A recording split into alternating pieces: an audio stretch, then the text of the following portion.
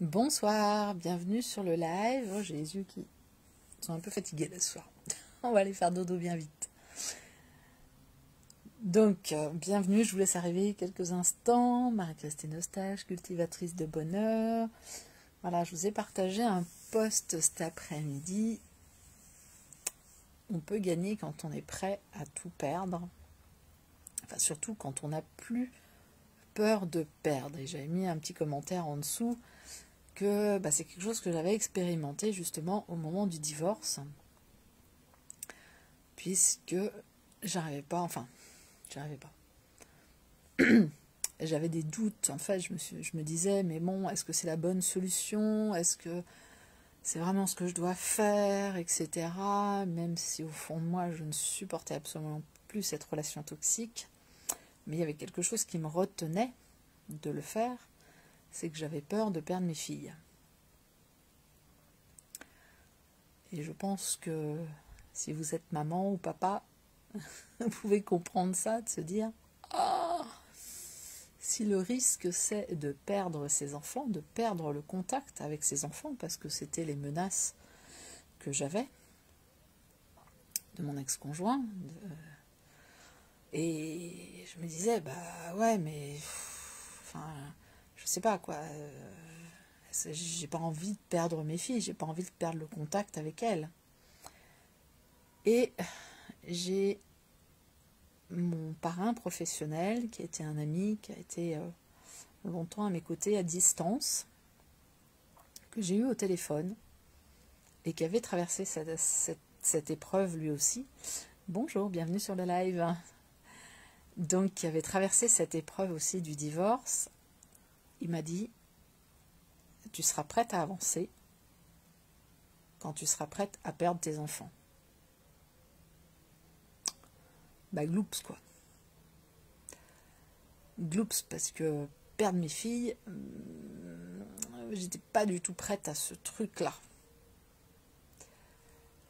Et maintenant, c'était le passage obligé pour avancer dans la procédure du divorce, eh ben j'ai travaillé sur moi. J'ai pris le temps de réfléchir au truc, de me dire, bon, ben j'ai le choix, soit je continue à vivre dans cette situation de maltraitance euh, pour garder le contact avec mes filles, soit je continue la procédure de divorce au risque de perdre le contact avec mes filles, alors que la plus jeune avait 6 ans et la plus grande en avait 13. Donc j'ai pris le temps de réfléchir à ça, de me poser et de me dire, bon, si c'est la seule solution, eh bien, je leur ai donné beaucoup d'amour, je leur ai transmis beaucoup de compétences, je leur ai transmis un savoir-être, si je ne dois plus avoir de contact avec elles, elles auront déjà eu un maximum de base. Et donc, après plusieurs jours de réflexion interne là-dessus, eh ben, je me suis libérée de cette peur. Je me suis dit, ok, maintenant, bah tant pis. J'y vais, même si je dois les perdre, j'y vais. Je continue la procédure de divorce jusqu'au bout. Et c'est comme ça que le divorce a pu se faire. Ça a mis, ça les procédures ont mis 3-4 euh, ans hein, à se faire. Euh, et je n'ai pas perdu mes filles pour autant. Je suis restée en contact avec elles.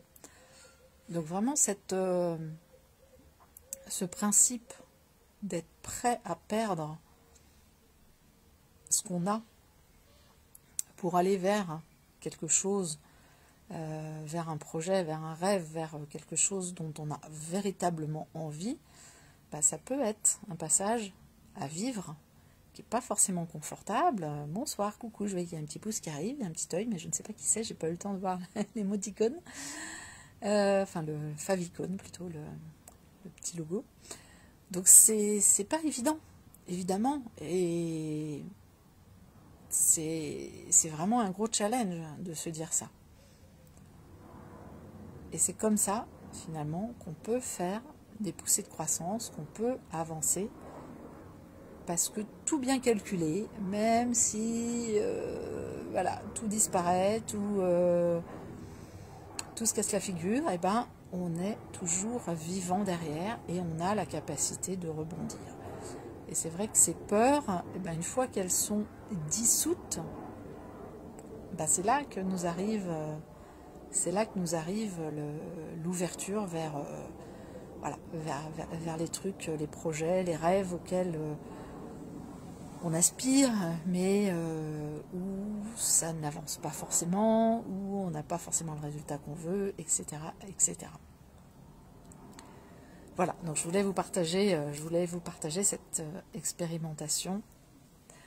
Et je ne sais pas s'il y a des personnes qui me regardent qui, ont vécu ça aussi, n'hésitez pas à le partager en commentaire, ça permettra ça permettra sans doute, même très certainement, d'inspirer des personnes qui n'osent pas, des fois, faire un pas, qui n'osent pas déménager, ou qui n'osent pas quitter un travail, ou qui n'osent pas faire les premiers pas vers un rêve, parce qu'il y a quelque chose qui bloque.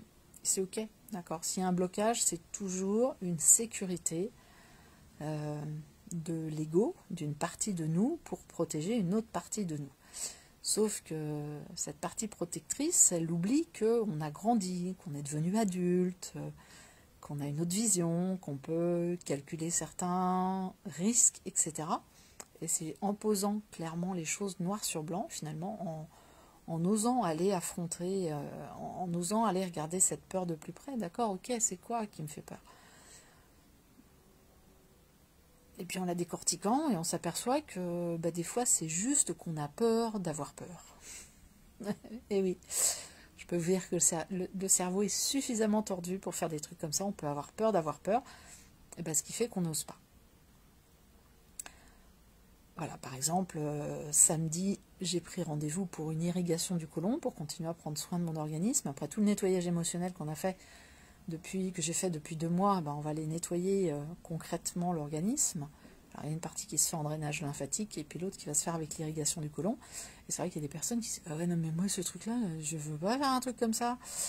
Euh, bah, ok, d'accord. Chacun voit midi à sa porte.